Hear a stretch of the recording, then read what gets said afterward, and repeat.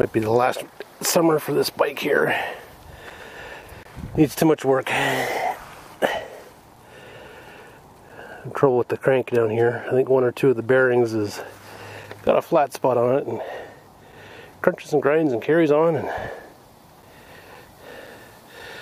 I don't want to be stranded somewhere in the middle of nowhere. Failed bearings.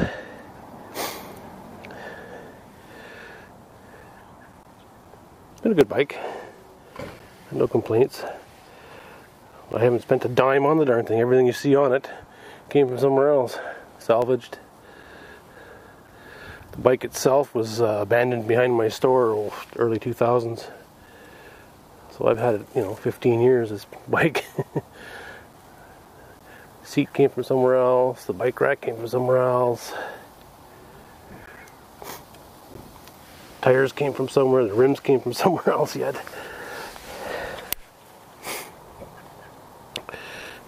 Not sure what I want to do with it. Salvage it. I don't know. Put the wheels and tires on.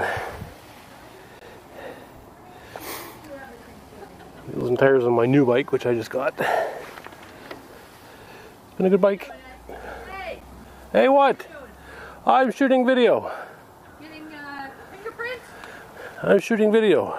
Hey, Shooting video. who's an idiot? No. Shooting video. Oh, you said he's an idiot.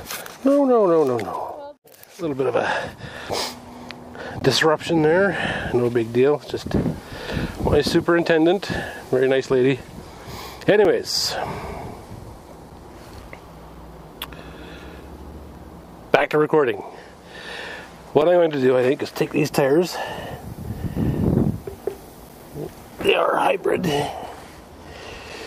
Mostly street, so I'm to put them on my new bike. They're in good shape, reasonably good shape. I managed to get the seat and the crank the same distance apart. The handlebar on this one's a little bit higher. I'm sure I can live with that. Probably put that bike rack on, clean it up, shine it up, polish it up, paint it up, whatever. I think the only money I've spent on this bike was new pedals because I rebuilt the original pedals three times and ah, just replace them. Old Raleigh Matterhorn. It's got the big big frame, the big head tube. My last two wheel vlog I did, I used this bike. I just clamp the camera to the bar here because it's normal round tube come up with something new for my new bike because it's totally different. So I'm not sure what I'm going to do with this one just yet.